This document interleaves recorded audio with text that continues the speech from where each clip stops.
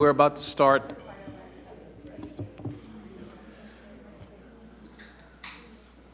Thank you. Well, good afternoon. I'm Lawrence Jones, founder, co-founder of the Center for Sustainable Development in Africa. Uh, again, thanks for being here. Uh, this afternoon, the last panel is going to focus on what we've called harnessing opportunities to increase access to energy and water through partnership and innovative investment models. The first two panels, we really addressed some of the, the pressing issues around both energy and, and, water access. And what we would like to do this afternoon is to have a, a very um, engaging dialogue on the whole subject of, of investments. Uh, we know that the issue of capital access came up with regards to having women entrepreneurs invest in the continent. Uh, and looking at some of these issues in the context of what's being done and how we go about doing that, I think is something we want to spend some time on. So you have the uh, distinct pleasure to listen to a panel of, of uh, experts here today who I sure will, I'm sure will enlighten you in so many different ways. To my left here, I have uh, Leslie Cordes from the uh, Global Alliance for Clean Cookstoves. I know you heard cooking coming up quite a bit this, after, this morning, and so we'll hear from Leslie. to my immediate right is uh, Alexander Dixon from the Aspen Institute. Uh, and Alex, uh, in, in, fact, the work they're doing is very interesting. And when we talked on the phone a couple of weeks ago, I told him uh, uh, I wasn't going to try and do any research until I heard it from him firsthand. So definitely looking forward to Alex's um, uh, intervention here. And then last, far right, is Mr. Eric Guichard from Homestring, Homestring uh, Limited. And uh, sort of a, Eric is going to help us at, at the end of all of this discussion to talk about how do we go from uh, practical discussions to technology deployment to, to go about getting the kind of investments we want. So because of some time constraints in terms of uh, how the panelists are going to uh, give their quick remarks and then get into a Q&A, we're going to start with Eric. And then after Eric, uh, we'll have Leslie and then Alex, and then we'll take a few questions and then go into uh, um, Q&A with the audience. So there, bios are in the, in the program. Please read it because uh, we really want to use the time here to get into the discussion. So, Eric, welcome. Uh, th thank you very much for, for, for, having me. Uh, when, when, I uh, was driving and I saw all the, the snow coming, I, uh, I said to myself, you know, forget about the, the Weather Channel. All I need to do is, is call Lawrence and ask him if he's having an event. um, actually, on a, on a, more serious note, I, after I, I, I do my five-minute talk, I'm going to have to scoot out because I had a pre-scheduled uh, call at, uh, at, at 1 o'clock. So I'll talk and I'll come back for, for the Q&A session. Um, as I came in um, uh, early this morning, I, I sat in uh, towards the tail end of the previous discussion and noticed that we're talking about uh, sustainability and, and how to tap into various pools of, of capital. And it, um, uh, one of them was talking about, uh, one of the panelists was talking about tapping into the mining uh, companies who are there who want to do their corporate responsibility work, and others looking at other NGOs and um, DFIs, development financial institutions, et cetera. Well, there is, in fact, uh, another source of capital which, uh, until recently, has been uh, woefully ignored, uh, and that is the, uh, the diaspora. Um, and I'm, i may be repeating some numbers that you already know. On the global basis, what we do know officially uh, from World Bank estimates is that you have about $500 billion a year that flows from the West to the emerging markets, person-to-person -person transfers me to my relatives in Guinea and in Senegal using money transfer uh, agencies like uh, Western Union and, and MoneyGram. Uh, into Africa alone, the official number is about $60 billion, and about 25% of that number, uh, about $15 billion uh, per year, flows looking for investment opportunities. The, the key challenge uh, is one, these are uh, individual flows from person to another person. Uh, number two, uh, there's what, what we call the agency problem. If I want to invest in a project in, in Guinea, I ask my auntie to take a portion of the money that I send to her to uh, hire my cousin or another person to look for opportunities uh, uh, to invest on my behalf. That's very unstructured, and more likely than not, uh, six months later, I'll find out that the money was used for some emergency that uh, I, I, wasn't aware of when I wrote the check. Um, and so there is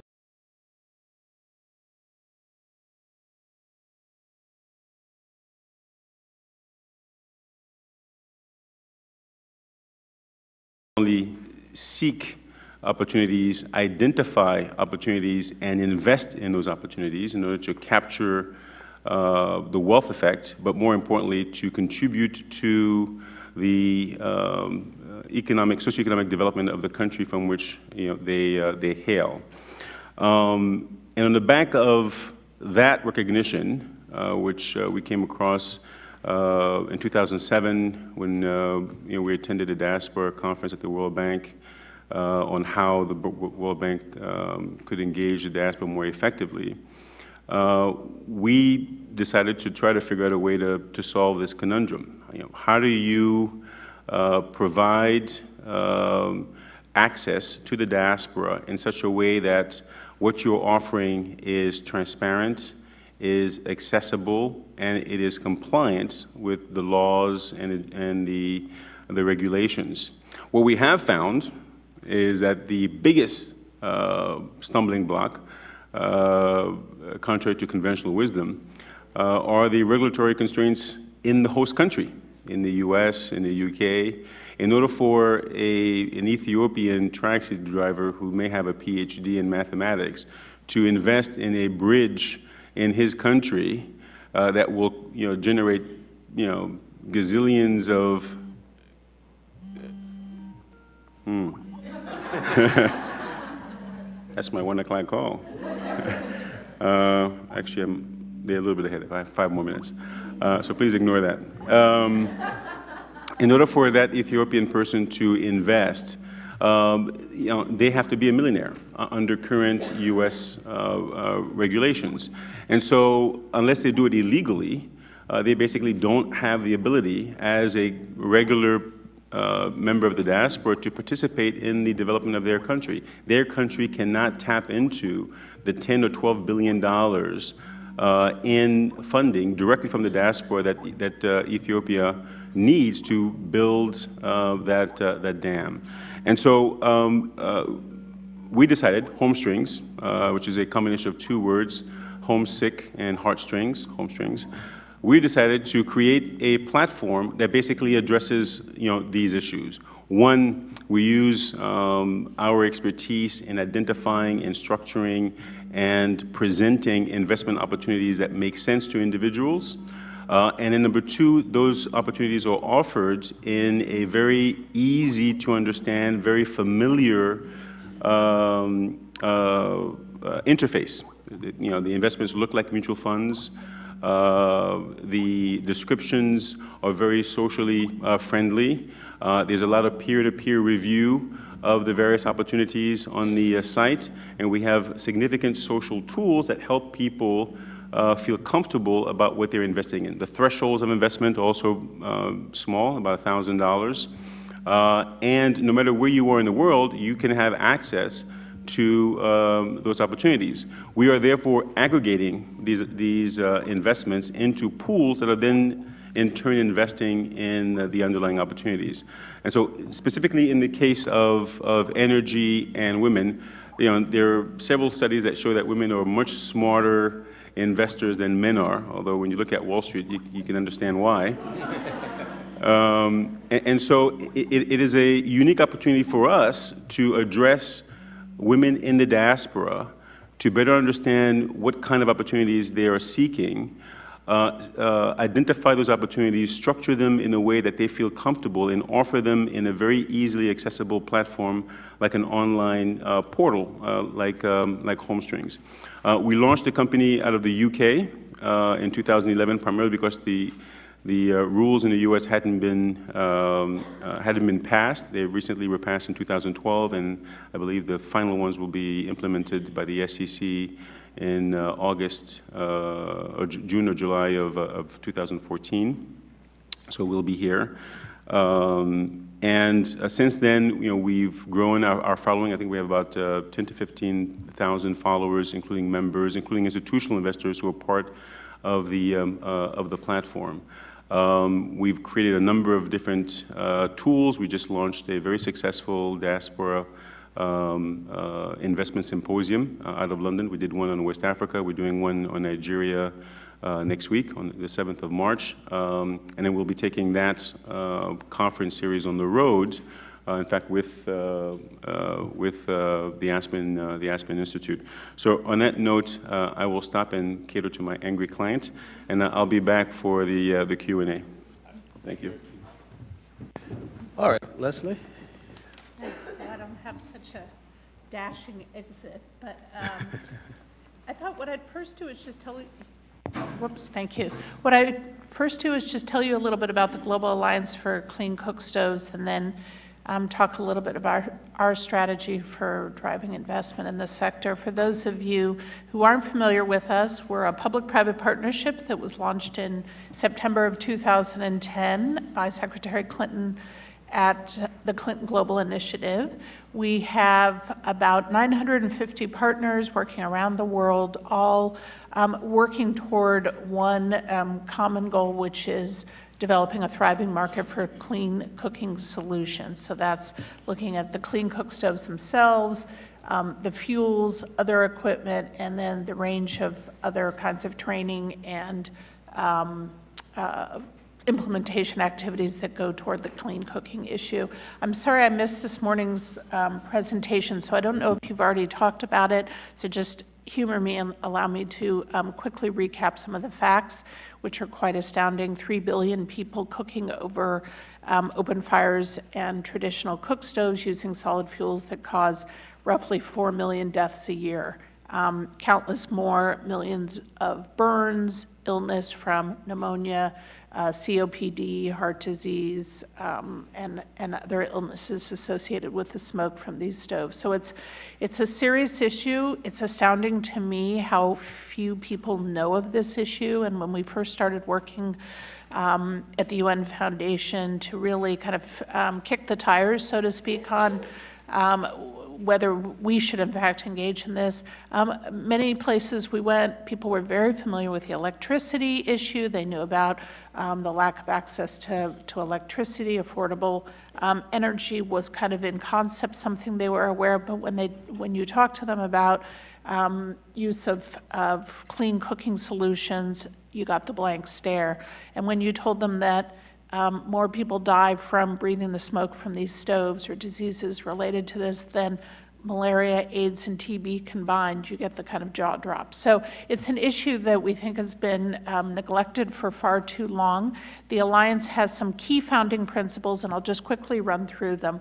One, we work at scale, so because of the enormity of the issue, we're focused on solutions and driving solutions that help us really address the scale of the problem. We're fuel and technology neutral, so we're not advocating a particular stove. We're not promoting or building or funding any one stove, but we're driving clean solutions, um, stoves, fuels, et cetera, um, that help reduce deaths and improve access to clean energy. Um, the consumer is at the heart of everything we do, so we're really focused on um, ensuring that our solutions and those of our partners really address the needs of of the consumer, and for far too long in the cook stove sector, that has not been the case. Um, so we want to ensure that that um, does not continue.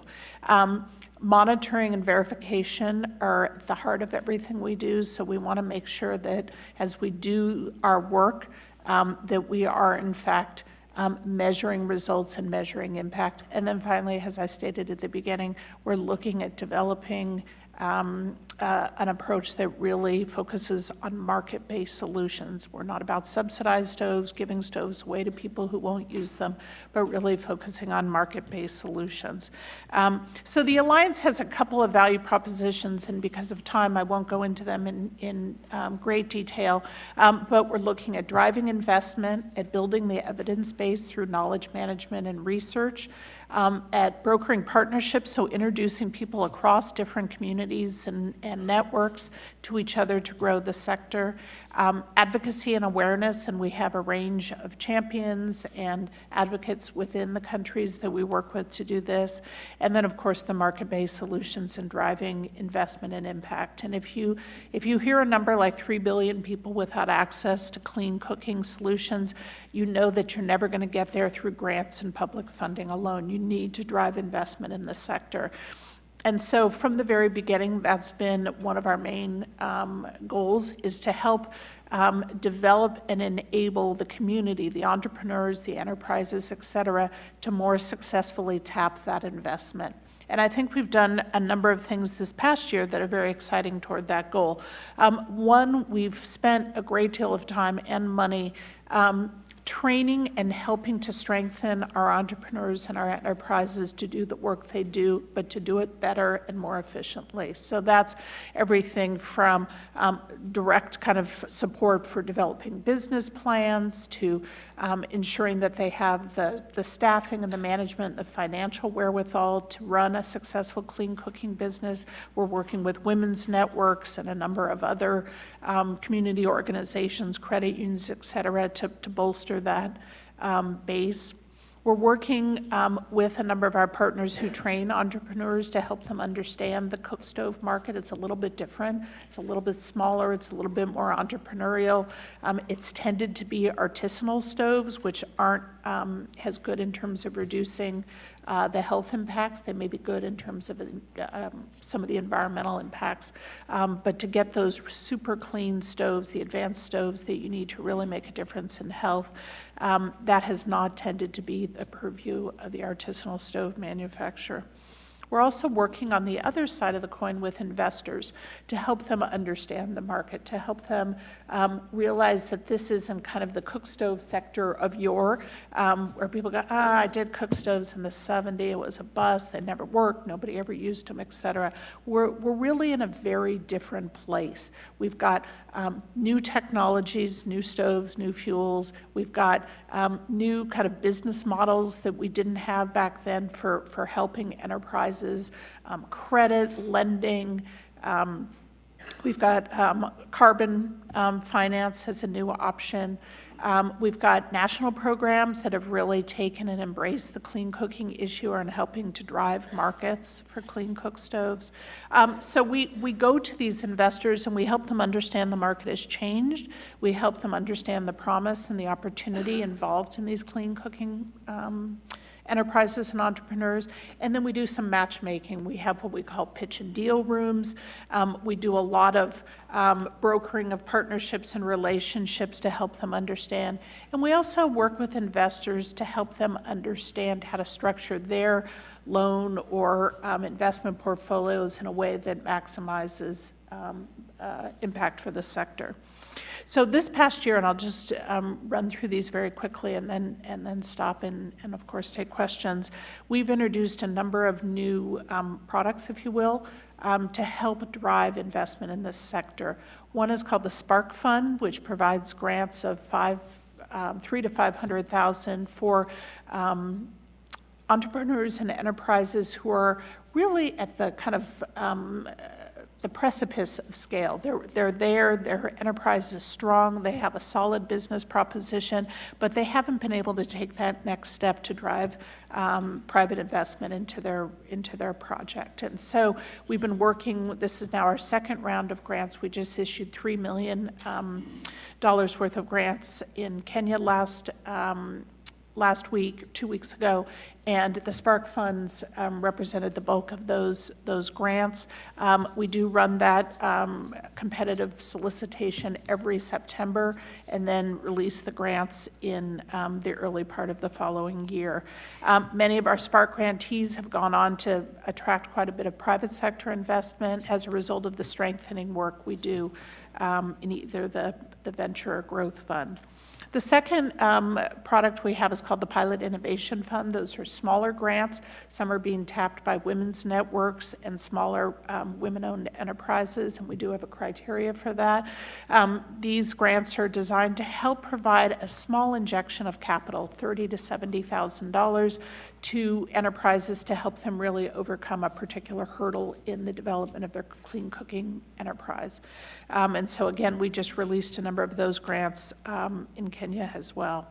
And then we have something called the Women's Empowerment Fund, and this is a new product for us. It's quite exciting. It allows us to provide grants to um, women-owned and other enterprises to help them drive clean cooking projects that benefit women. So it may be um, a small network in Nigeria that helps um, train women on um, the use of clean cooking. It may be a distribution model that helps encourage women to get involved in the distribution chain, sales, et cetera.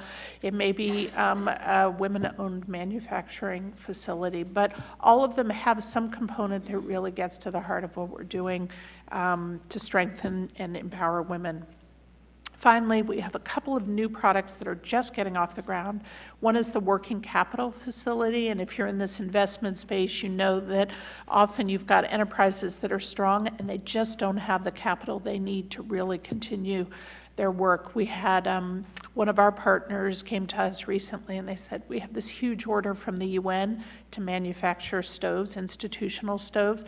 We don't have enough money to buy the equipment, the steel, the metal we need to manufacture the stoves to fulfill this order. Um, so that kind of working capital is really has really been missing in our minds um, and is something that we feel um, really would go a long way to spurring investment in this sector. And so, working with Deutsche Bank, we just launched the working capital facility in September, and we, we're looking to capitalize it now. And then finally, on the carbon finance side, although carbon finance is really a little bit um, tough right now because of the price of carbon credits, we are working to set up a small fund with um, the gold standard folks and others so that um, some of those costs of developing a carbon finance project can be covered upfront um, and then paid back through the credits so that people who want to tap that carbon credit market can do so without fear of going bankrupt while they're trying to do that. So that's just a number of the different things we're doing. I've, i realize I've kind of rattled through, through them very quickly, but I'm happy to take questions. Thank you, Leslie. Uh, Alex, you want to tell us how we get the diaspora pulled up to tap into some of these resources? Leslie talked about it, also Eric will talk when he gets back. No, definitely. Uh, I'll be brief because we're totally new. So uh, we're just uh, getting started. My name is Alex Dixon. I'm with the Rockefeller Aspen Diaspora Program. Uh, nickname of it is RAD. Uh, we believe that, uh, you know, we picked the nickname because we wanted something cool to say when we go out. We have a totally rad project. My daughter liked that one. Um, but the whole focus of what Rockefeller and Aspen have come together to do is try to channel more investment from the diaspora back to their countries of origin. Eric's alluded to the number already. Everybody sees the big remittance number, $500 billion. It's three times the ODA. You know, why isn't more done? And Eric's also talked about how sticky that is. We've taken the approach of looking at remittances as an indicator of a store of wealth. And when you look at it as an indicator of store of wealth, saying, okay, if I'm going to wire money to my friends back in Ghana or my friends in India, that's coming out of my checking account. Now, I have more than a checking account. I've got an account at Fidelity, I've got an account at Charles Schwab, I've got a 401k, and if I'm very, very wealthy, I've got a private banker who has money allocated to an international bond fund. I've got money in a real estate partnership. I have money tied up in a uh, private equity fund. I have a whole allocation of assets which probably exceeds $3 million. And only thing I'm doing is wiring money from my checking account. So when you kind of take a broader approach, you say, okay, how can I get this investment capital that this diaspora person has amassed back to projects that are either socially in impact or even for for-profit investment? Because Eric's alluded to that channel of how you create uh, an acceptable channel to meet all the regulations, which are substantial, is a hurdle. And many times what we're trying to do is have conversations with the diaspora investors to understand also what they're doing already.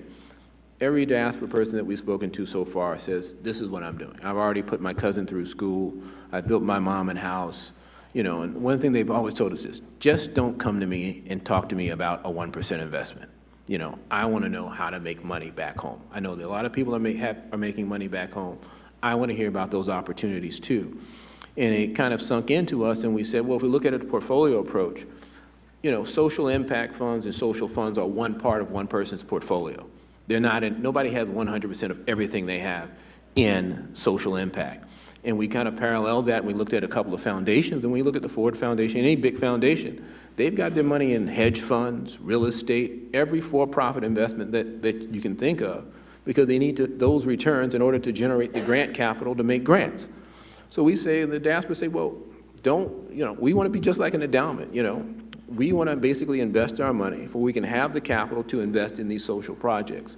So we're starting to tackle and look at that and look at the complexities uh, that kind of underlie that, one from a regulatory standpoint, but then B also from diaspora themselves. Each country has a different set of diaspora, different socioeconomic uh, complexities to it. One thing that we did uh, early on, we picked 15 countries and we selected five. The five countries we're looking at are the Philippines, Egypt, Colombia, India, and Kenya. That's a diverse group with very different dynamics. India, for example, we looked at uh, India, and we looked at the millionaires there are in North America alone, just with the Indian diaspora. And one private wealth uh, report we looked at estimated there were 67,000 diaspora Indian millionaires with a net worth of at least $3 million. And if you multiply that, that's $200 billion, which is bigger than the top 50 foundations in the U.S. That one group has more assets than the top 50 foundations. So if you say, okay, even if 60% of that is tied up in their house, which it probably isn't, 35% of that, 68, $68 billion, that one group has to deploy into projects, into financial investments. And you start to see kind of the enormity of it. And when you start looking through the different communities, that's the idea of saying, look at these financial assets. So, and there's different ways that we plan to look at this, and we plan to take a very practical standpoint in saying, okay, some of the uh, diaspora told us, well, you know, we put money in donor-advised funds, but most of the donor-advised funds only have U.S. NGOs that we can allocate our money to. And for those of you not familiar with a donor-advised fund, it's a fund basically in the U.S. tax code allows you to basically contribute and get a 35% tax deduction. And when you put the money in, you legally lose title to the money, but you get to suggest who the money goes to. And what's amazing about it, when we looked at it, there's $30 billion in some of these donor-advised funds at the Vanguard, Schwab, Fidelity, all the big houses have these donor-advised funds. So you start seeing this huge store of capital that's there, waiting to be deployed that can be leveraged. So we're looking at that. We're also looking at basically investment opportunities. How do you channel money back to clean cook stoves? And how do you channel money to NGOs and social projects? And the diaspora, what they've told us is sometimes they're just like any other American. They have no idea who to give money to. You know, they heard about this one NGO, they heard about another one, but outside of the top two or three that have the brand name recognition, they can't distinguish one from the other. There's no charity navigator for Kenya saying, okay, this NGO is really doing good work, they have certain efficiencies and so forth. So one thing we see is an information need amongst the diaspora for greater transparency of what the investment opportunities are on the philanthropic side as well as on the investment side. So we're trying to, over the next kind of uh, six months, we're going to go out and have a series of conversations with the diaspora communities throughout the U.S., start talking with them and really get a fundamental understanding. And one of the things we've been asked by our trustees board and the kind of global advisors is that nobody wants to see us do another report about diaspora. And nobody wants, you know, and I think everybody here, you know, I always say, you know, it's on Google. You know, if you type anything in Google, you will get an answer. It may not always be the right answer. exactly, that is very true. Uh, but the idea is that we really want to have a fundamental um, approach to this, and we want to figure out how we leverage what's being done out there already. Because there's a lot of initiatives that are being done, there are a lot of different approaches that people are taking. We want to figure out how to leverage those most effectively, whether it's Homestrings, could be impact assets, could be another impact fund. How do we basically help the diaspora channel their investments back into productive investments that they see uh, far as developing their country and also that they see some economic reward from. So those are kind of uh, what the hopefully objectives that we, that we want to get to. The idea is over the next three to five years to channel you know, at least a billion dollars back to these communities. And I think, you know, that we'll have a pretty good start from it, because what I've seen so far is that every community that we looked at, there's something going on already. You know, we looked at Kenya, there's an initiative called Startup Africa that's helping uh, with startup projects. India, there's different uh, initiatives, the Pratham Fund, or, um, different, there's the one, the TiE, the TiE out of uh, California, they do huge events and so forth. So all these community, the Philippine community is very progressive as far as how they engage their diaspora and then linking back. So there's a lot being done, and what we want to do is kind of be the aggregation point and kind of the information point of how we basically can catalyze those investments back into uh, the countries of origin. Excellent. So let's, let's get into the Q and A here. So let's, let I want to start with you with one. You, you talked about some of the successes you've had, and clearly the Clean, Clean Cookstove Initiative has really garnered the support of, you know, Deutsche Bank and some of the big banks. How can the model you guys have used in Clean Cookstoves be applied to other aspects of the energy water nexus, if you may? So clean water coalition, if you were to create something like that. What are some of the lessons you've learned that can be applied so that we don't have others trying to repeat what you've done, but learn from what you've done and sort of propagate it to other, other mm-hmm. sectors? Mm-hmm.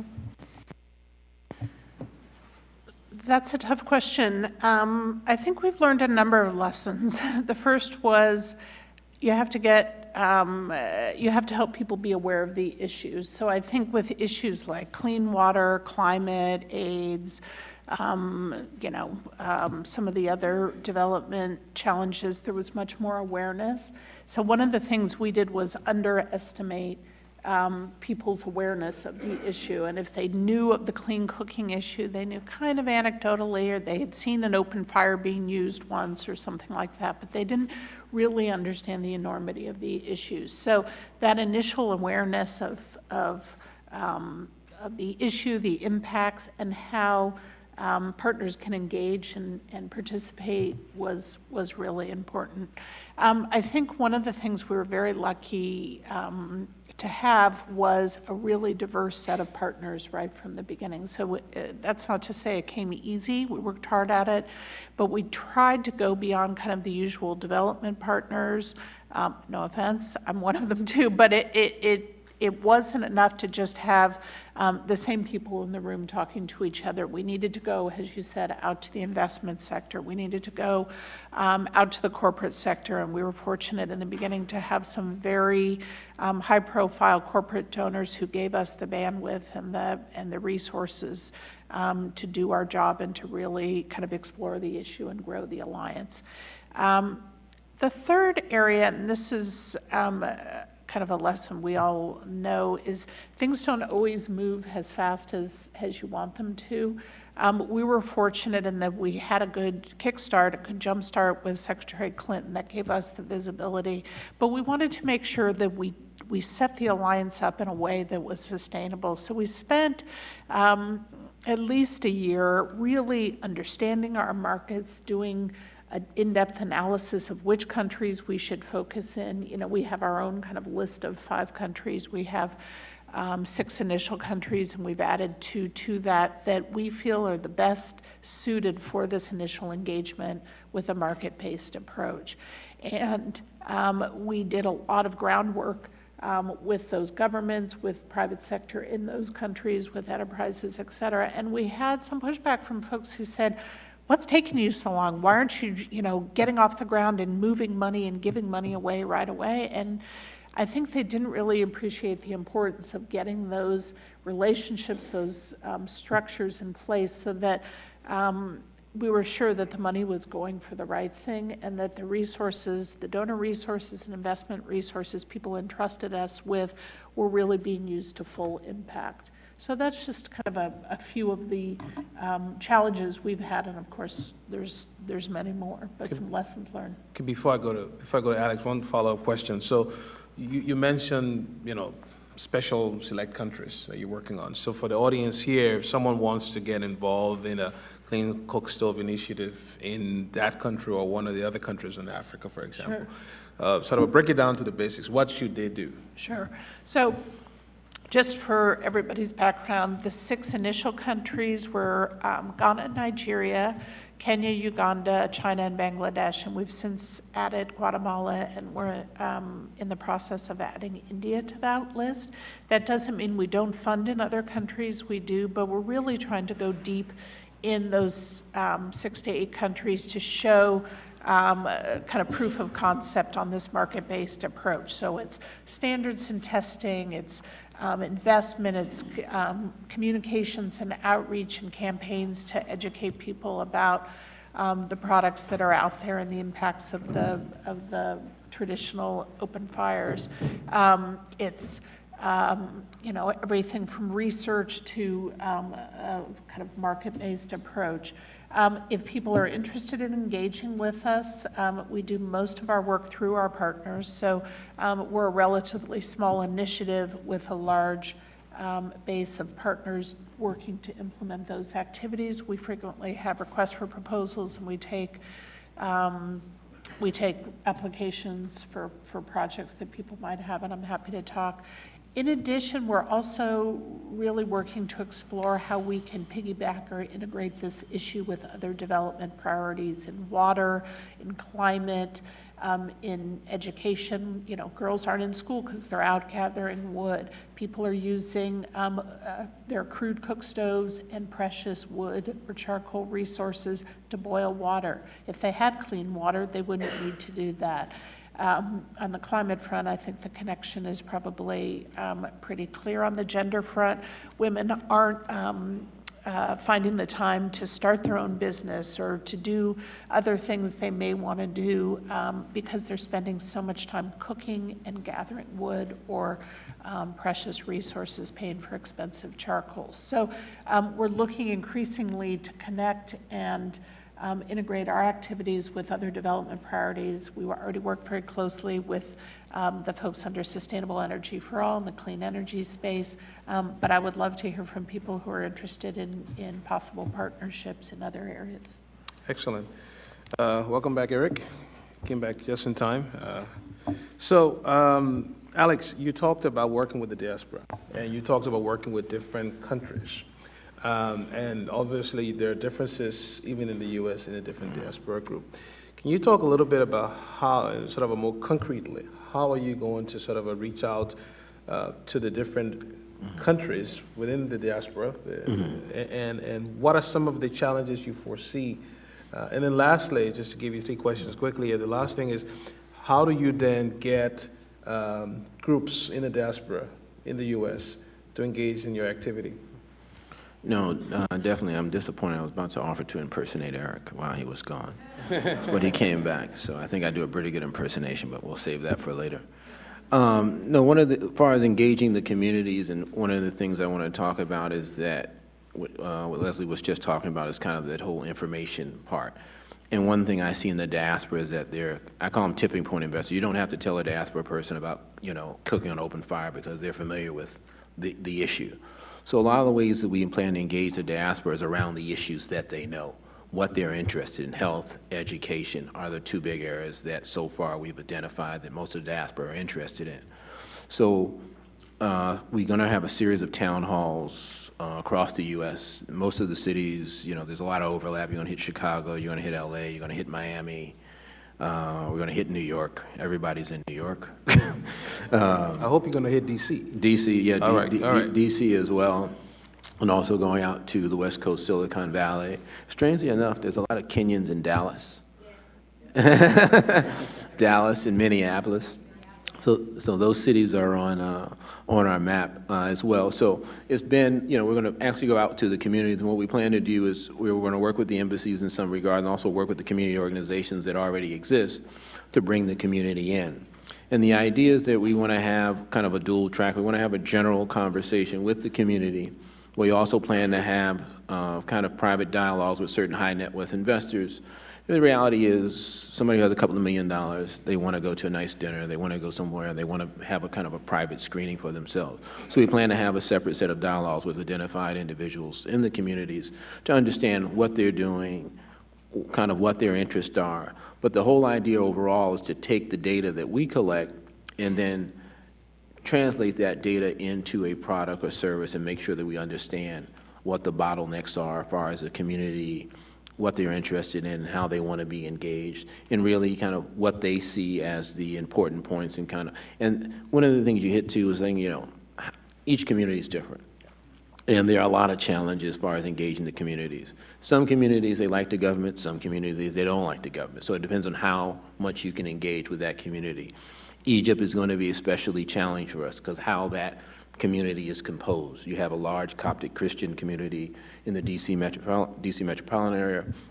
The California area is a whole different group. And what we're finding with the diaspora is that, you know, Sudan was one interesting example the clan that's in Columbus from Sudan is totally different than the clan that's in Minneapolis. So if you go with an investment project that's in one area that the group's not interested in, they really don't have an interest. So what we're seeing is that the diaspora, even amongst themselves, there's a complexity. You know, we were looking at the Indian uh, diaspora. Most of the Indian hotel owners are from Gujarat. They're from one region. So that group basically dominates that one sector. So within those communities, we're going to take a deep dive and really understand what those complexities are from a geographical standpoint from, from their home country, and even from a professional standpoint to figure out whether a particular group has gravitated into one area, either from a college or university perspective. And that's another important thing that we're going to look at is that there's a lot of uh, your secondary school, college ties amongst the diaspora, the Old Boys Association, alumni associations that tend to be the civic points and kind of turning points of the community. So we want to engage with those uh, communities as well. So we're going to try to take a diverse approach, but do so in a constructive way that leads us to some type of constructive outcome at the end. Excellent. Uh, Before we open up to the audience, uh, and uh, please, if you on Twitter, uh, please tweet and we'll get it. Er- Eric, before you left, you, one of the words you mentioned was regulation and and red tape. And so, since you were gone, I'm going to give you two questions in one, and hopefully you, you can get through it. The first one is talk a little bit about the issue of risk. And one of the concerns, anyone making investments in wherever in the world is sort of a risk mitigation. And if you tie risk mitigation to regulation, there are some linkages there. So I'll talk a little bit about how you guys uh, at Home HomeString are looking at sort of a calming down the concerns around the issue of risk. And then, and also the issue of education, uh, getting the diaspora to see HomeString, for example, as one of the platforms. How are you going to do this educational process after Alex has done the groundwork? How do you take what Alex has done and, and sort of expand it or scale it up to get to that 30 billion that we need per year to solve Africa's uh, uh, crisis and definitely getting women involved in the process as well. So can you tackle those very easy questions? Sure, yeah, sure. I think, you know, first, I, I think I, I, want to commend uh, uh, the Rockefeller and Aspen Institutes for, you know, taking on this, uh, this issue. I think the fact that, that these two heavyweight, uh, extremely influential institutions got together and decided that the you know, diaspora investment was the next big thing, I think is, is telling uh, as to how important this is from a policy standpoint for the U.S. I mean, if you think about it, the U.S. is a country of Im immigrants, and so we should be the biggest you know, players within the diaspora uh, space. And I think to, to have that institution, you know, create this program uh, and to find a, a, market player like, uh, like Alex to, to lead, I think is, is, uh, is quite, um, is a, a quite uh, a positive uh, development. Um, in terms of risks, there are a couple of issues there. So regulations, um, and hopefully no one from the SEC is here, so I'm going to, I'm going to you know, be uh, gentle. Um, the, the underlying assumption in the way uh, financial markets are regulated uh, in this country in particular uh, assumes that the individual who is, isn't wealthy, who does not have a million dollars in portfolio investment, does not have the sophistication to understand risk, whether the person is from that country or even is a sponsor or co-sponsor of a particular project. They, under the rules, are not able to invest in a private transaction. Um, now, you know, I've I know a lot of, you know, uh, calm down, Eric. I, I know a, a, lot of uh, trust fund babies who are, you know, doing very, very well, but have a very, very uh, limited understanding of risk. But yet, under the rules, they can invest in, you know, anything. and you know, most of them have lost their shirt, but that's a different story. Um, so when you look at how the UK, for example, addresses this issue, they have several categories, right? They don't simply have one, they have several categories. One of them is, do you work in the financial industry? Do you have a CFA? Are you an analyst? Are you a board member of a financial company? Do you deal in risk assessment as part of your job? Oh, and by the way, are you wealthy? Yeah, so you, you have one of these five categories, and you determine whether you're, you're, you're one or the other, and you substantiate it, and then you go on to look at you know, how you want to invest your assets. In the US, one category. Are you rich? Yes, yet you have access. No, sorry, you have to go look at the commingled mutual funds on the stock exchange.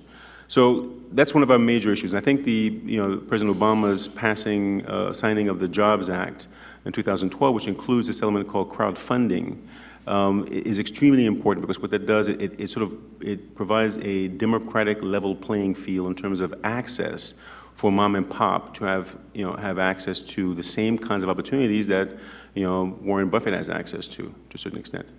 Uh, and I think that that's extremely important. It's extremely important for the opportunities themselves in terms of fundraising, um, but also important simply in terms of, you know, in terms of uh, empowerment. Now, from our standpoint, so risk, uh, risk mitigation, the number of tools that we offer. So we, we, you know, we have a risk assessment on each opportunity. Uh, we get inputs from, uh, from peers to say, you know, I know this project, I know this country, I know, you know, these promoters, they have, you know, they give their input. And then also we, we give what's called a, uh, um, we offer a portfolio effect, which means that you may be able to invest in a very risky project, but you also have the ability to mitigate that risk with another less risky project. And so at the portfolio level, your overall exposure is actually mitigated, right? So you may invest in a startup, but then you'll invest in infrastructure bonds issued by the African Development Bank, which are rated AAA. So to the extent that you have a 50-50 exposure, you pretty much, you're pretty much hedged. On the other hand, we also have um, USAID, has a very exciting uh, project um, under what they call the DCA, which, which is to provide guarantees on principal investment, which provide an incentive to diasporans to invest back home. And we are working in Eastern Europe with, um, with, uh, um, with USAID to sort of channel investment into SMEs um, in, those, uh, in those countries. And we hope to bring that to, uh, to Africa as well. So one quick, my last question, and we'll start taking questions from the audience. I just want to come back to what you said regarding, um, one key word I think all of you alluded to is education, right? So from your perspective, if each of you just give me a quick 20-second remark on how do we educate the diaspora about, one, the opportunities that you see out there, Eric, two, uh, Alex, from your point of view in terms of the, the various diaspora groups out there, what do you think we should do? And then, same from you, Leslie, how do we educate people about the opportunities of investing in things like clean cook stoves? So if you guys can just give me quick, quick uh, responses on that, Yeah, I go to the mean, audience. We're a web-based um, uh, proposition, and so we use quite extensively all of the tools within social media and social networks, and we have found that that is a very powerful way to educate people. I think for us, what's important is to provide transparency and access to information and empower people to make their own decisions. And I think there's no better way to achieve uh, you know, levels of understanding and education than by, you know, giving people the tools and letting them. So we, you know, we have webinars, we have conferences, as I mentioned. We're working with with uh, with a RAD, um, and, and I think that's that's the way we we are approaching that. Uh, As far as education, that we- what we're going to try and do is basically work within the professional sectors and clusters that we see in the community. Like, for example, one of the things we're starting to have a conversation on is that there's a large number of doctors and professional nurses. So the idea is starting to have a conversation with them around health, you know, and the idea is saying, all right, can we do a tech transfer fund that basically takes technologies from the US or from Europe and basically bring them back to their home countries? But I think that education uh, of the diaspora, from our standpoint, is it's easier in that they know what the problems are already. What we're trying to educate them on is are the avenues that they can use basically to help solve those problems and contribute to those problems. And then also teaching them what their collective might is mm-hmm. And how they can use that collective might to make a difference. And that they are the tipping point investors. They're, they're the ones that are going to go in before Morgan Stanley or anybody else. And I think time after time you see that in market after market. It's the diaspora investors who are actually going in, making the investments, and then the big institutional guys come. So from our standpoint, we want to leverage kind of what they're doing and then aggregate and have kind of a lessons learned. well, this person who you didn't know about in Boston did X, Y, Z, he's part of the community, you're out in the California community, and give them a kind of a base, as Eric said, through the web and through social media, that kind of best practices of what other diaspora communities are doing, not only in their own community, but in other communities, and I think that's important as well. Okay. Leslie, quickly? Yes, so, call your question, your answer to my question. Leslie has a quick emergency, she's gonna have to step out, so let's take one or two questions for Leslie only, not for Eric and Alex, or Lawrence for that matter. Just for, just for Le, for He makes it seem so dramatic. It's So, just a two doctor's quick questions. appointment. Two questions for Leslie, one up there. Oh. Okay, but, so, okay, so, but I only want Leslie questions right now. We can get back to, to the generic question if you may. Okay. Okay. Okay, go ahead, ask the question. Just quick, quick question. How do you decide whether to be a nonprofit or a for-profit? Okay, and uh, another question for Leslie only, a Leslie only question there. Thank you, Lawrence. My- Here's my quick question, Leslie. You had mentioned in your um, presentation that there is um, some opportunity for manufacturing and women, with women on the ground. What sort of, um, I'm going to say, challenge that you have um, engaging a manufacturer that has a patenting product, product, right? overseas to come in the context of an Africa country because that seems like it's always a challenge to take the next step. If an African entrepreneur would love to develop a manufacturing plant, you know, sometimes the hurdles about patent, etc., and countries that they don't trust, like Nigeria, comes on the table, which is a hindrance. So I'll answer that one quickly first. Um, The patent issue isn't as much of a challenge for us as it might be for other products because there aren't many cook stoves being made in the U.S., although there certainly are some companies and some entrepreneurs that we work um, closely with. Where we're finding um, more challenges is there's kind of a tension with some of the Chinese and Indian manufacturers who are making um, products under a kind of a more um, advanced manufacturing process. And some of the entrepreneurs that we work with in Africa are a little bit worried about them coming in and taking their market. And so we've um, done some work to broker some partnerships between Chinese manufacturers and um, African partners, and in fact, we just hosted a study tour to bring Chinese cook stove manufacturers to um, Uganda and Kenya to, to introduce them to counterparts and see if there might be some opportunities for, for um, shared um, uh, efforts. And we're finding that there is indeed, sometimes it's just in the construction of the combustion chamber for the stove, so the actual stove is made um, in Africa. Um, sometimes it's assembled in Africa. I just recently visited um, one of our partners' plants where 60% of the um, stove is made in Kenya. It's all assembled, but a few of the parts are brought in from China. Um, where the ma manufacturing can, can get a more standardized product in this case. Um, so we are sensitive to that. I think that the sensitivity isn't so much on the IP side, it's more on the artisanal versus, um, you know, kind of um, commercial manufacture of cook stoves. And there's some nervousness about taking jobs away from local communities. And so what we're trying to do is help people understand the job um, creation possibilities in terms of distributing stoves, um, training women how to use the stoves, partnerships with Chinese, Indian, or other manufacturers.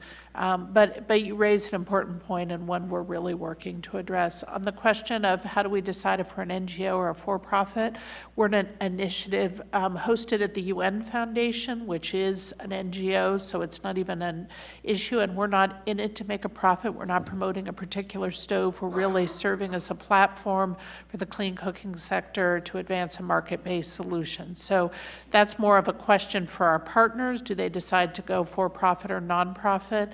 Um, we have some nonprofit partners who have very profitable projects, and we have some for-profit partners who have very um, low-performing um, projects. So um, it's it's not quite so black and white, but we ourselves are strictly a, a 501c3. We do. We do provide that advice, and if we don't um, have the answer, we bring in consultants who do. And one of the things we'll be launching in the coming year is a capacity building institute to help um, uh, enterprises and NGOs, et cetera, with a one-stop shop of services and business development and training and M&E, et cetera, because um, often by the time they get to us, they've made that decision, but there are some who um, perhaps should go a different direction, and we do try to guide them if we can. All right, thank you very much, Leslie. Thank I know you. you have to go, so, an applaud for Leslie, so since she wouldn't be here, we'll give a applause. Okay, gentlemen, it's now up to the two of you to deal with the remaining questions, which I guess are going to get pretty interesting. So let's open up. Uh, see, we'll take three rounds of questions. Uh, I see one there. Uh, well, uh, let's let's see if we can get a few others to ask questions first. One up front, and so let's start with uh, Aneri.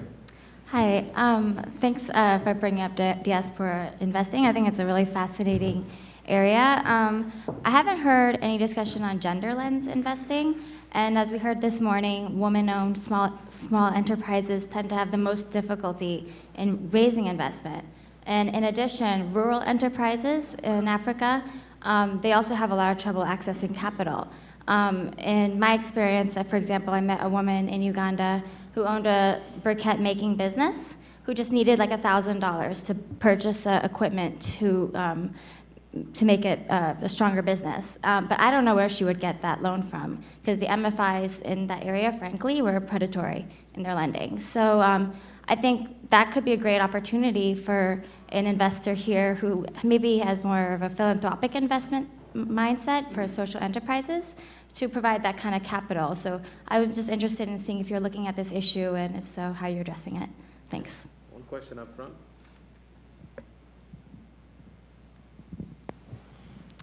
Hi, my name is Rose. I work for Senator Chris Coons, and I'm originally from Nairobi. Um, my question is a follow-up almost to hers, but more specific to um, access to capital for the more uh, tech innovators, and energy innovation falls under this. And so they have um, challenges accessing capital, but in a totally different kind of price range. So they're kind of in the 50,000 to half a million range.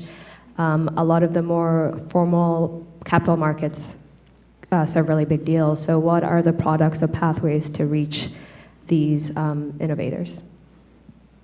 Okay, go ahead, gentlemen. Um, On this issue of uh, uh, nonprofit versus uh, for-profit, uh, from inception, you know, we were a a for-profit proposition.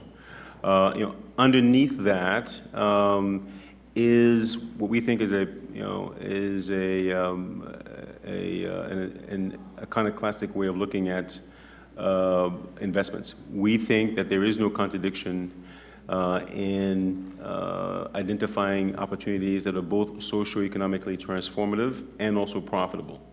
Right? So uh, at the extreme, you know, a toll road that facilitates uh, access by the farmer to uh, urban centers to sell her products, that, as far as we're concerned, that toll road is a positive develop, positive socioeconomic development that's also profitable.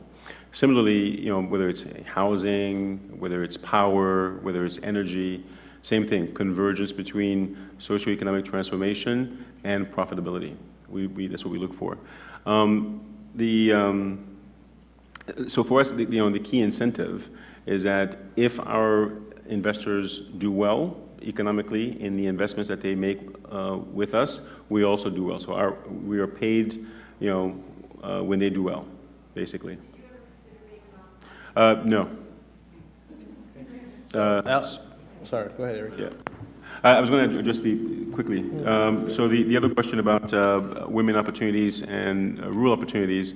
Um, So for us, the, the scale is a little bit higher, uh, because on on the one hand, we're looking at aggregated, aggregating, you know, a thousand, several thousands of dollars into a minimum of, say, uh, 100 uh, to $250,000.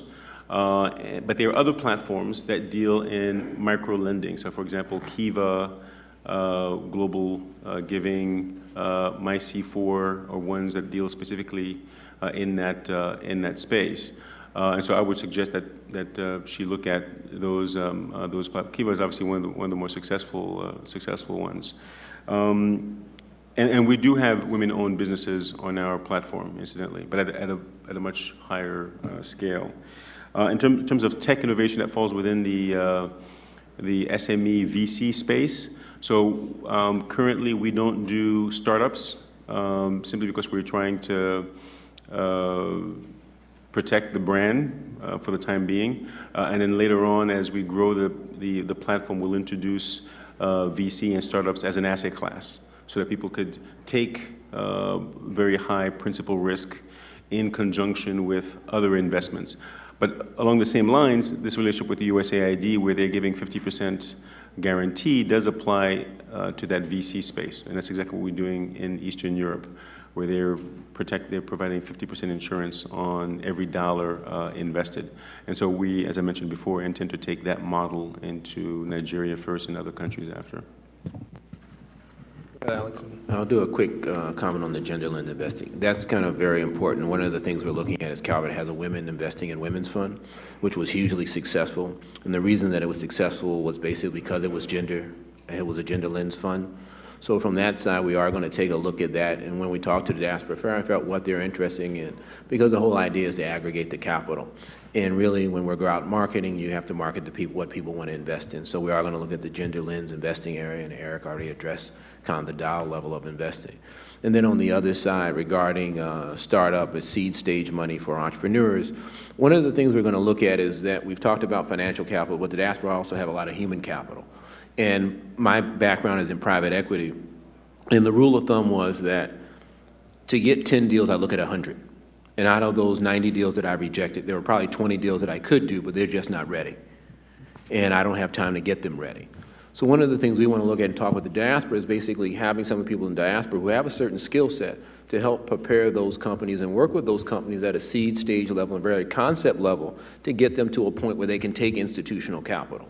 And I think that's a very important uh, distinction in the market that a lot of people don't get is that, you know, nobody walks out of a university lab here and gets money from a VC. You go to an angel network, you work with an angel investor, it's contacts and capital. You can have all the money in the world and be the brokest person in the world. And I tell anybody, if you go to the patent office, type in the patent thing, there is nothing you can think of that somebody hasn't thought about. and the reason that there's not commercial, sometimes they didn't have the contacts or they didn't have the capital, but usually you need both. So that's one of the areas that we're going to look at as well. Okay, we're running out of time, so we're going to take just one, I think I saw one question there in that corner. There's none? All right, there wasn't any? Okay, uh, let's take the lady there, right there, so she hasn't asked a question yet. Be the last question, and then we'll wrap things up before we do the screening of the, the movie. Go ahead. Great, thank you. Um, I've really appreciated all of your, your sentiments here. Uh, my name is Robin Wong, and I'm working with Integra Government Services. Um, question for you both. Uh, earlier today, we've learned, we've heard a lot about initiatives like Sustainable Energy for All and Power Africa, and I'd be really interested in hearing your take on how your initiatives will work or not work with these programs. In order for them to be successful, they clearly need a lot of private, private investment. I'd like to see how I- that, how you see that working. I'll talk to the Sustainable Energy for Power Africa. I used to do a lot of work for Power Africa previously to come to Aspen, so I'm very familiar with it. The way I see us interfacing on the energy front is that for small to medium-sized projects, and that's defined as anything below 75 megawatts, there's no money. The reality is all the money goes to the 100 megawatts and above projects because of size and cost. So one of the things that we want to look at is basically when you get below 75 megawatts, if you assume $2 million a megawatt, that's still 100 and something million dollars. So those projects are pretty serious, substantial. So one of the things we're trying to do is we think the diaspora who understand their country, who understand that they need maybe a potential investor base to invest in those particular opportunities, and maybe they'll go down to the 5 megawatt or 10 megawatt side. But I think those are investment opportunities the diaspora can look at that'll give them maybe a 7% return. It'll give them something, you know, to invest back in their country. But I think it could be a potential investment class that's untapped by the institutional investors and won't be touched by the institutional investors uh, ever because of the cost overheads that are involved with most of the uh, institutional guys. Okay, Eric, any last comment on that? Um, You know, our, you know, we work with everybody, right? I mean, we, you know, we can't source all of the deals, and so we, our job uh, is to partner with uh, a number of platforms in order to bring what we think are the most exciting opportunities to the diaspora and to potentially aggregate uh, pool funds for those, uh, those opportunities. Okay, well, listen, uh, this has been a fantastic discussion. Uh, Eric and Alex are still around, still around to uh, answer more questions afterwards. So please join me in giving them a, an applaud for very insightful. And so before we end, I'd like to call up Marilyn Smith, who's going to say, uh, give us a quick one or two minute intro of the premiere, the world premiere of the documentary Darkness. And that after that, we'll watch it. She'll take a few questions, and then we'll wrap up the day. So please bear with us for another 15 minutes or so. Thank you. Thank you. Um, I've also, I'd like to introduce also Stephen Mays, who is the Director of Media and Distribution for the Energy Action Project. I hope most of you saw our little brochure on your chairs when you came in. Uh, I'm quick, quickly going to tell you that my background is science journalism, and then I spent three years as the chief editor. Sit down, everyone. Don't go, it's really good. Um, I spent three years as the chief editor at the International Energy Agency, and during that time I became very aware of the technology and policy dialogues that are going on in meetings like this. And I also became very aware that nobody's telling the public about all of these great initiatives that are going on. So my idea for the Energy Action Project was to create a multi multimedia platform that's journalistic based and allows a venue for energy sector players to tell the public what they're doing. Uh, and at the same time, part of what we've heard often today is that people just aren't aware of what it really looks like to not have access to energy. So we're going to take you first to Liberia and let you see what it looks like.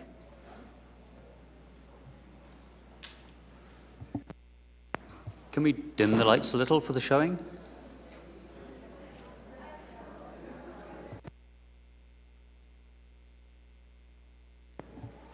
I think maybe the person who knows how to turn, oh, okay.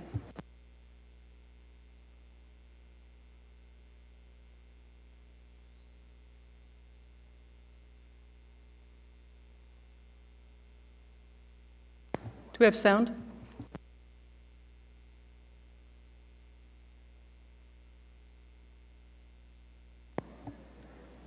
Is Ben around? We need someone to take care of the sound.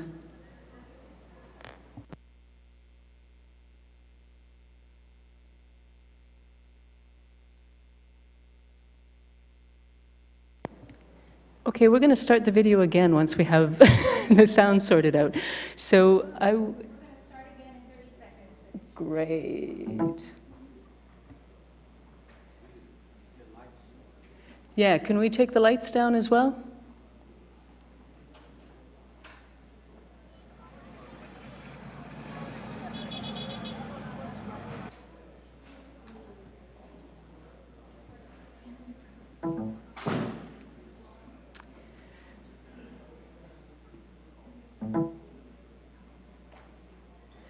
So as I said, the, the idea of this project is really to send a group of high-quality journalists out. You come darkest world, you feel you feel very very you know isolated. You can be harmed at any time because uh, evil men like to, to travel in dark. So when you are in dark, you think about evil.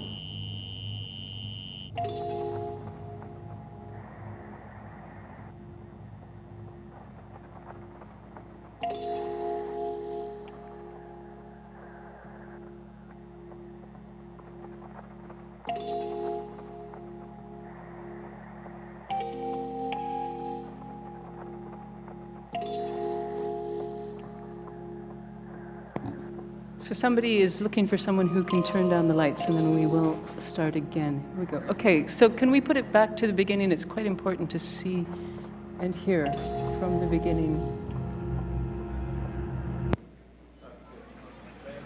Thank you.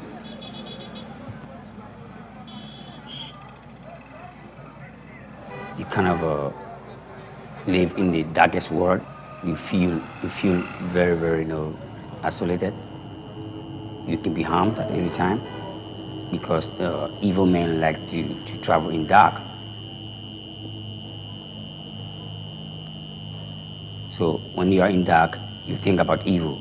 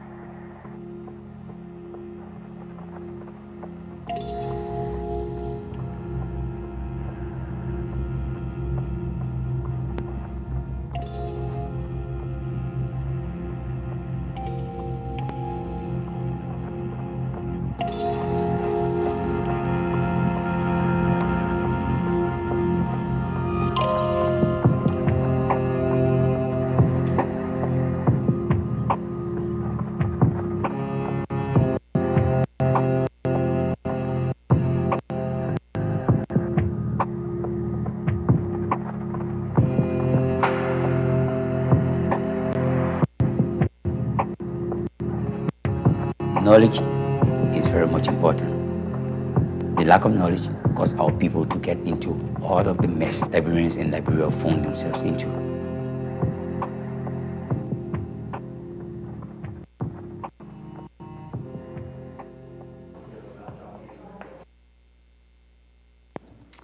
There's a technical thing going on here, and the the um, video is actually quite far behind the sound, so I'm I'm not sure what's happened. The exercise is for you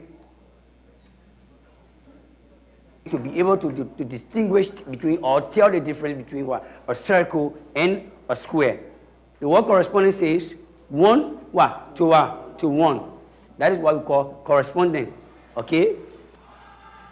People wait for current to come on so that they can do few activities, but not ready to study because the condition for studying is not you know, conducive.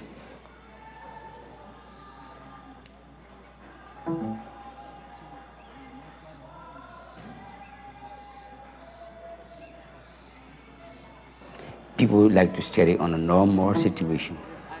Most often you find students waking up by the hour of 2 a.m., 3 a.m. to do studies. At that time, we are not, you know, yeah, we don't have current around us. There is no power supply because the supply is cut off by 11 p.m. So when you enter 1105, you are in darkness until 5 a.m.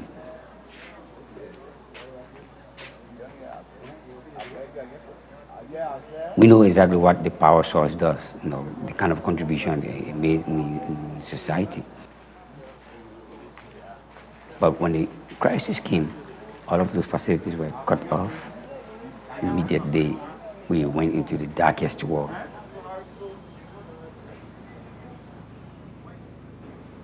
the first thing you lose is you cannot, you cannot uh, preserve your food.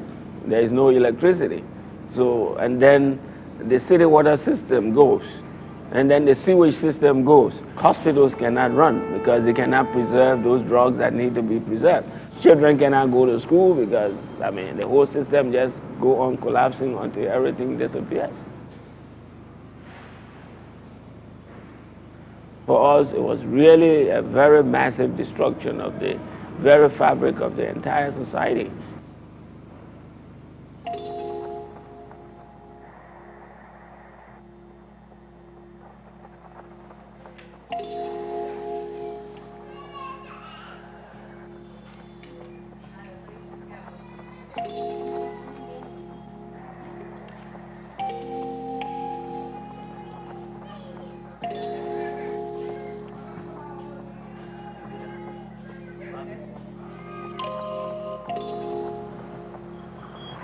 We don't have 24 hours, seven day a week electricity in Liberia. So we have to buy fuel oil to run our generator to provide electricity for our doctors to work. equipment that will require the electricity will not be in, in operation because we don't have money.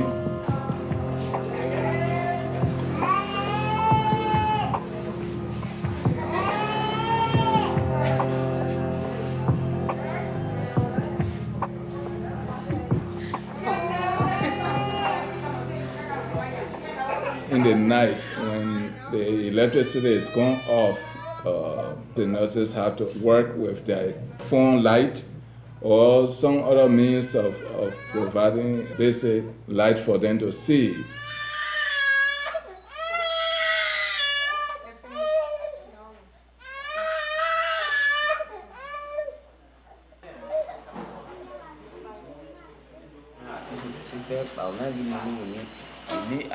Aki la ne di piula suru kan di dinyami la piula pada la au au na isi. Bueno,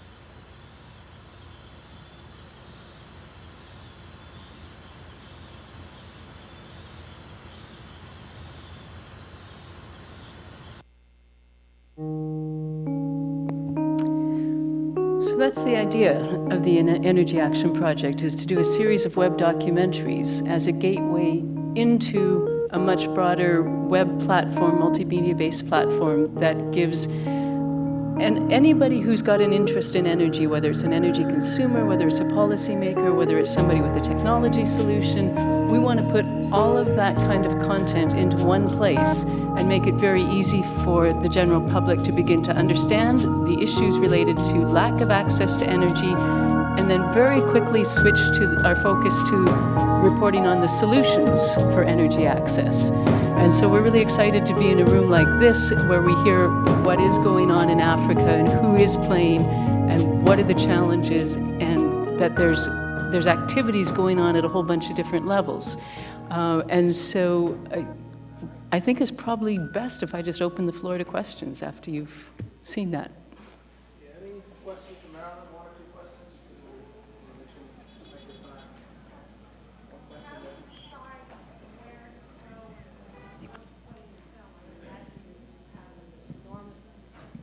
I would imagine you have an enormous number of choices of places you could have included in the film and people you could have included in the film. Um, how did you decide to cast it, and how did you decide where to go?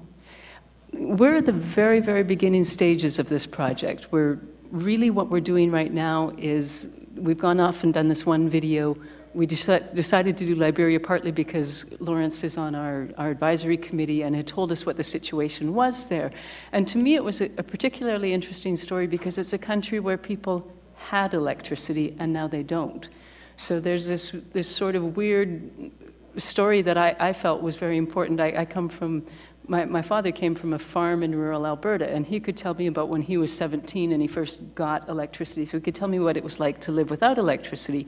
In Liberia, people my age can tell their kids what it was like to have electricity. And, and so the, the generation that's living now has no concept of, of what the past was.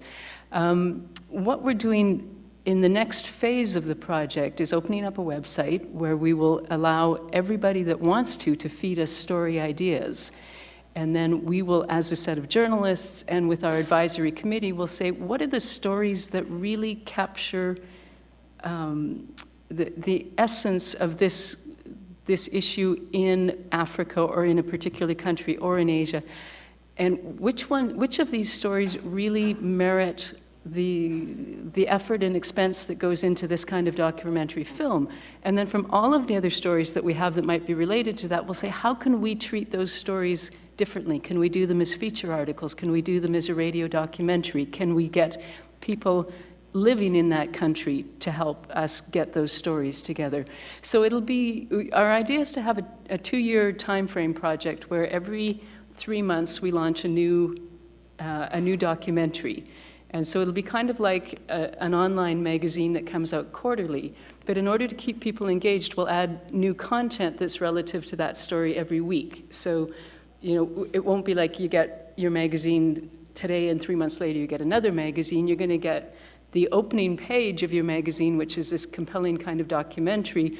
And then every week we're going to say, here's something else that you might want to think about in the terms of this story. The other thing that was really important to me, coming from the, the IEA and having not had a, a, an energy background before that, was the learning curve that I had to go through in order to edit all of their. They do 40 or 50 publications a year, and I was responsible for all of them. So I had to go through this hugely steep learning curve about the energy sector, and I realized it's incredibly complex, but it's also incredibly interesting. So, an, a another layer of this project is to do, over the two year period, an energy for dummies kind of component where we're going to start with just describing to people what is energy, what are the different kinds of energy, how do you measure a unit of energy, why is one type of energy more, deliver more energy per, per unit of combustion or whatever. Um, and, and so over that two-year period, they will also get exposed to how, how does the energy market work? How do energy prices get determined?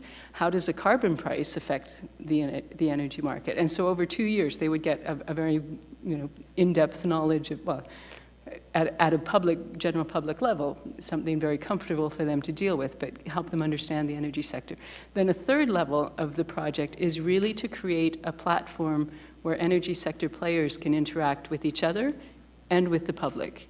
So one of the things that we're very, very interested in doing is, and we've uh, brought onto our advisory committee an anthropologist who's working in the energy sector and looking at how people relate to energy.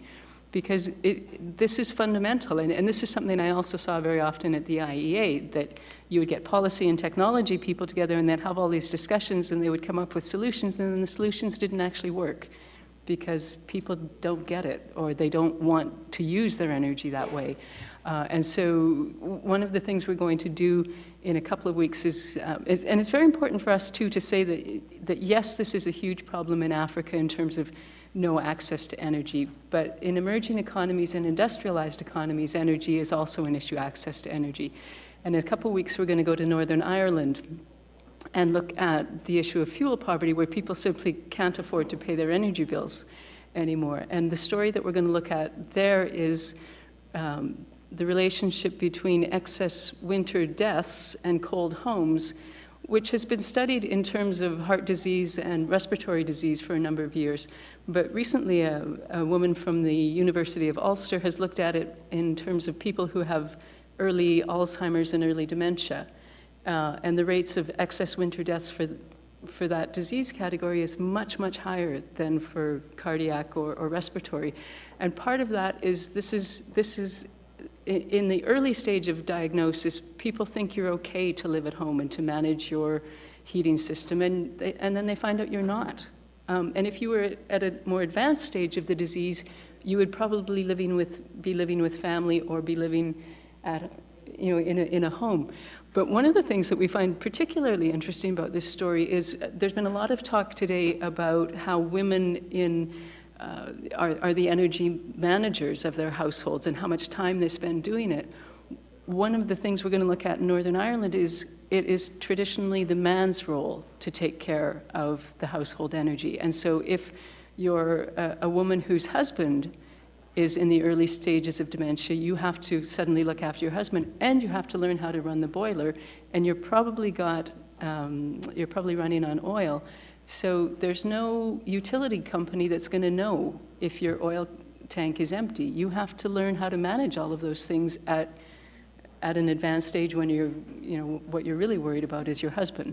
So it really is a project that is going to try to one of the main reasons we wanted to do the fuel poverty aspect is to say, you know what, energy matters everywhere.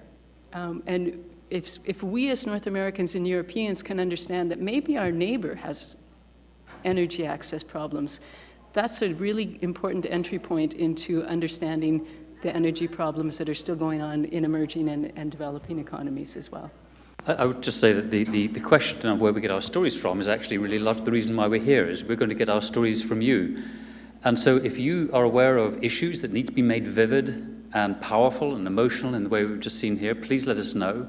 If you have contacts or clients who see value in, in developing that kind of resource, we want to meet them because we really see ourselves as a tool to be putting this word out. So the more, the more we can draw on your expertise and your resources, the more powerful we all will be. So where we get our stories from is uh, the expertise we have in this room.